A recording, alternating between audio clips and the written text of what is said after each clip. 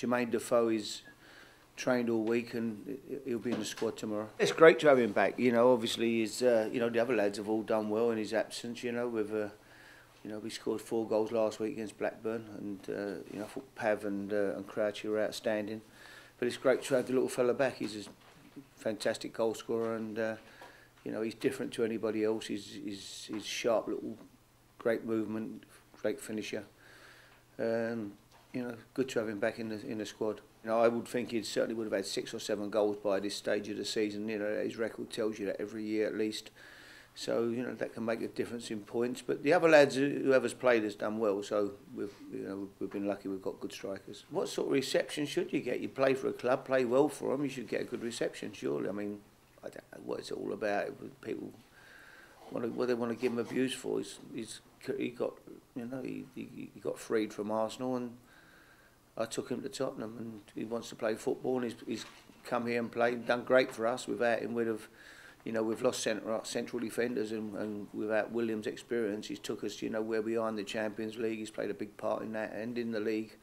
So he's done great for us. I hope he gets a good reception and um, his frame of mind, he's a strong character. Nothing fazes him. He's, he'll go back there tomorrow and look forward to the game and uh, and be ready to play. There were times when Tottenham were the stronger club, you know, when Bill Nicholson was a manager in the 60, early 60s, Tottenham were the club.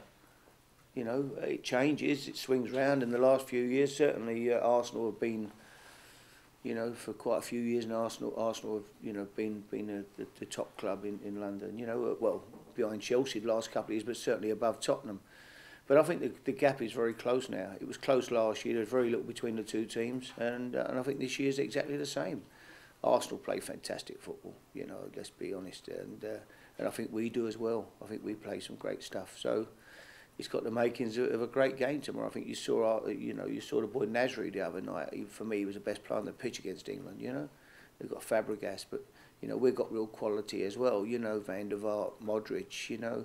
It's going to be an interesting, uh, interesting game tomorrow between two teams that really want to play and pass the ball and, uh, you know, get great movement. So it's going to be a, a it looks got the makings of a, a great match. There's no reason you can't go to places, and you know it's a London derby. It'll be a great atmosphere, great stadium, fantastic pitch. The ball is round just the same. You know, it's uh, well, there's no reason we can't go there tomorrow and play well, um, and pick up a good result. We drew the, the first year I came. You know, two years ago we had that four four four draw, which was an amazing game. So you know we can go there tomorrow and full of confidence and you know, looking to really have a go at it. So you've got to win these games if you're going to look to, to, to win a championship. I think the championship is wide open this year. If only it's never been so open. You know, I think anyone who can put a run together up there at the top group has got a real chance this season because, uh, you know, no one's walking away with it. You know, everybody's getting beaten games that you don't expect them to get beaten or struggling to win games.